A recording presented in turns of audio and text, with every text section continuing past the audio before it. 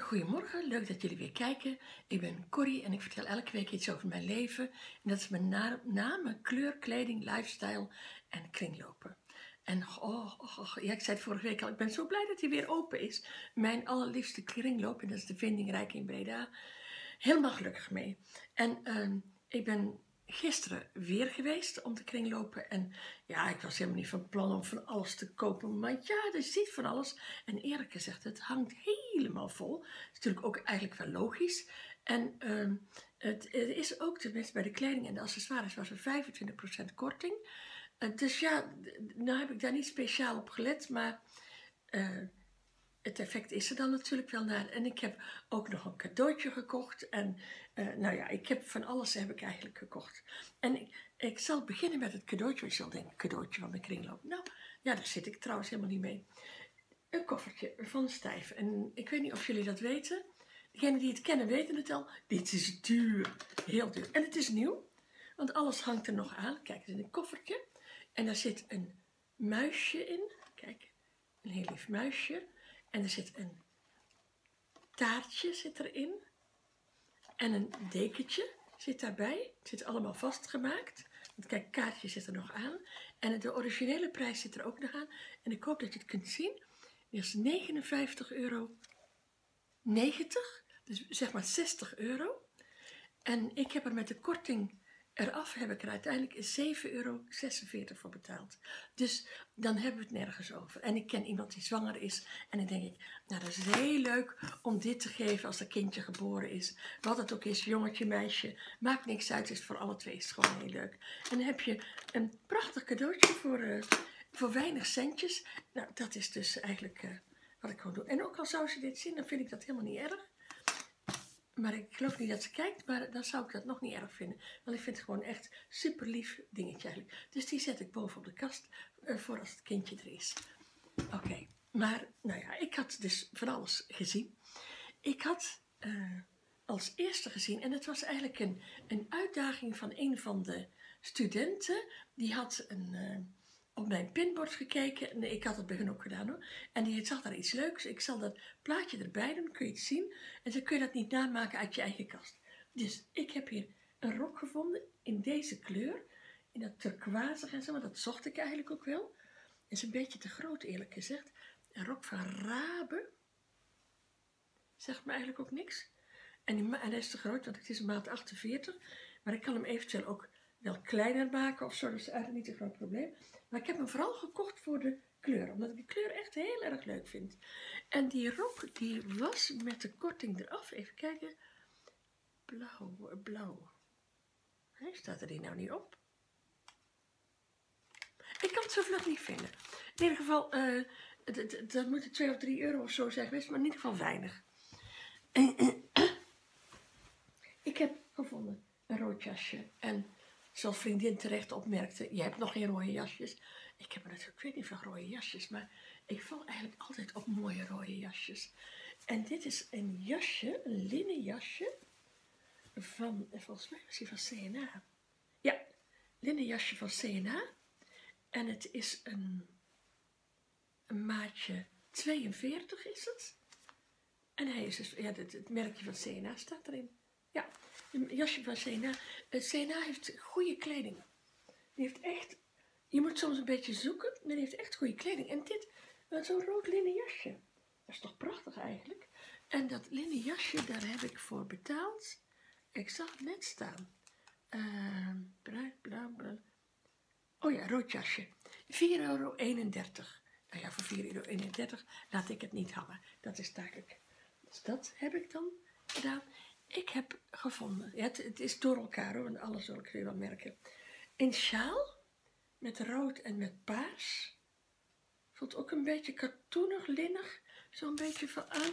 En de sjaal was helemaal een lachertje natuurlijk, want dat is normaal 95 cent en nu 71 cent. Dus voor 71 cent heb ik een leuke sjaal. Leuk bij de rode jasje ook ik heb nog een sjaal gevonden en die doet me heel erg aan lily denken. Omdat hij aan de ene kant die bloemetjes is, aan de andere kant is hij ruitjes. Maar het is geen O'Lily, tenminste dat merkje zit er niet in. Het is een beetje onbekend merk, denk ik. En ook een beetje, dit is ook een beetje katoenig, viscose-achtig. een ehm, kleine sjaal, 38 cent. Van 50 voor 38. Nou, jongens. En ik heb gevonden één rok. Een stretchachtige rok. En die is van Basler. Staat ook verder geen, geen maat in of zo. Maar hij, in ieder geval, hij paste prima. Hij was zelfs aan de grote kant. Maar, nou ja, oké, dat zit in ieder geval lekker.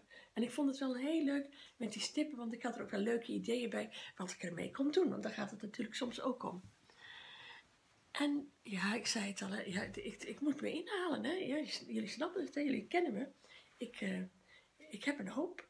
Uh, nou, nou, nu niet zoveel meer, maar ik heb in ieder geval meer dan genoeg. Hè. Ik heb dit blouseje. En dit is een, in mijn geval, een zelfgemaakt blouseje. Maar dat heeft iemand wel heel mooi zelf gemaakt, met zakken erop. Uh, wordt met die zakken wordt het heel erg truttig. Dus, maar zo draag ik het ook niet. Dat zullen jullie straks ook zien. Maar waar ik eigenlijk ook wel op viel, was op die strekkenkraag die hier aan vast zit. En dat vond ik eigenlijk wel heel mooi. En ook op het patroontje, dat paisley-achtige patroontje, vond ik ook eigenlijk wel grappig. En ik dacht, het wordt of heel lelijk of heel leuk. Ik vind het heel leuk geworden. Dus nou ja, dan mogen jullie straks over oordelen of dat inderdaad ook zo is. Wat voor materiaal het is, weet ik niet, want het is het is zelf gemaakt, naar mijn gevoel tenminste. Als ik hier zo naar die knoopsgaten kijk, dat zijn uh, geen uh. Maar ik weet ook niet wat formaat. Maar ik vond het wel een heel lief blouseje. Dan heb ik hier een rokje. Uh, ik weet het niet. Het, in ieder geval zit geen merkje in of zo. Het is wel gedeeltelijk wol, is het. Het is dus een, een heel klein ruitje een heel kleine pied de coq of pied de poule. Uh, pied de poule natuurlijk, want een pied de coq is veel groter. Een heel kleintje. En het is een, een truttenrokje en tegelijkertijd stond hij me gewoon ontzettend leuk. Het was gewoon een heel leuk rokje, paste precies. Elastiek, ja jongens, elastiek. Dat is uh, mijn beste vriend, zeg ik altijd. En uh, nou ja, jullie zien, zullen zien hoe ik het ga combineren. Maar ik was er wel heel blij mee. Ik, oh, oh en dat, uh, even kijken, moet ik even zeggen natuurlijk, dat rokje, ruitenrokje van 2,95 voor 3,96.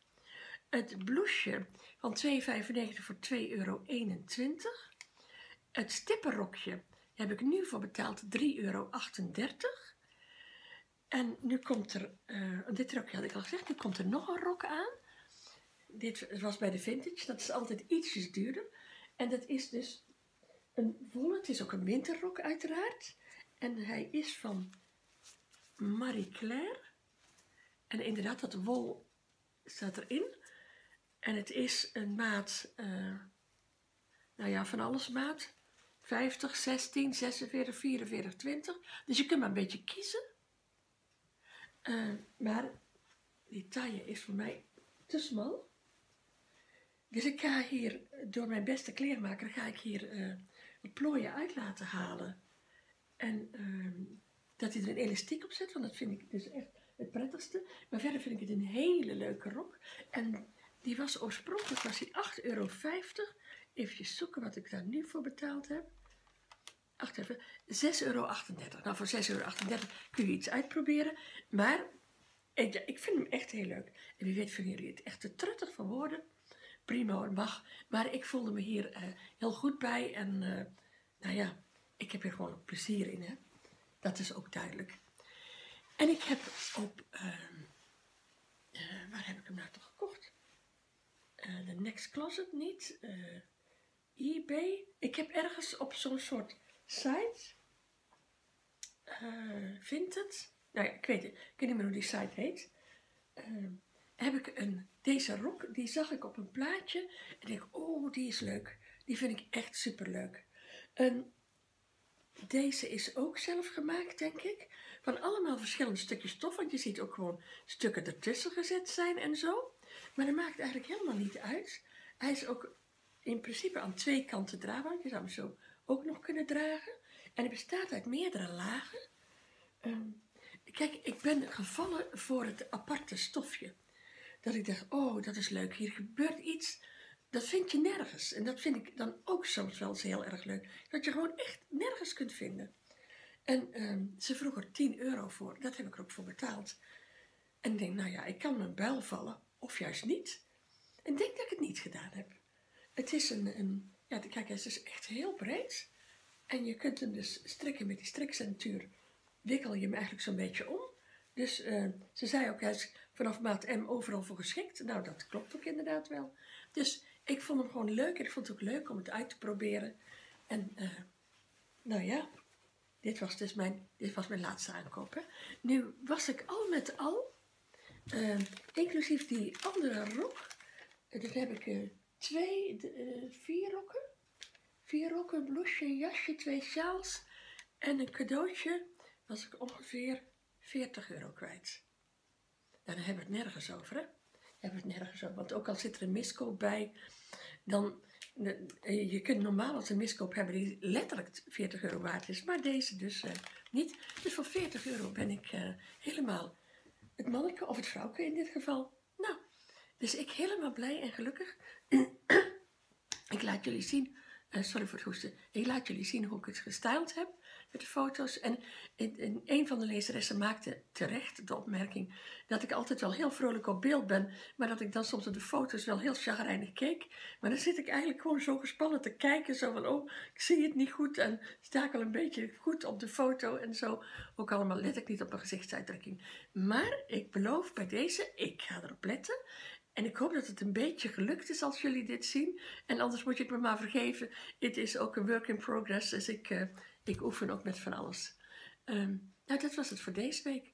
Volgende week heb ik weer iets te vertellen. Jullie kunnen verzoeknummers indienen, dat zeg ik steeds. Mag ook inderdaad ook altijd. En uh, ik spreek jullie, of ik zie jullie, of jullie zien mij in ieder geval, volgende week weer, want dan ben ik er weer. Dag, tot ziens.